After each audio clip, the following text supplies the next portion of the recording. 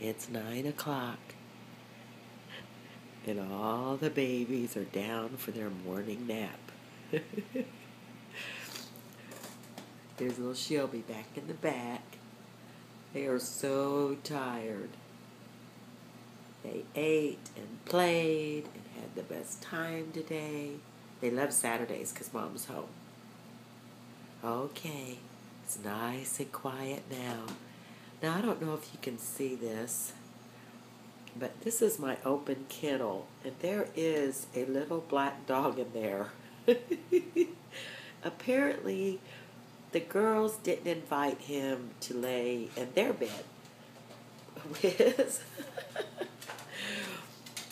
he says, This is what I get stuck with. they, they don't want me in their bed. Okay. Say, have a good Saturday. We are.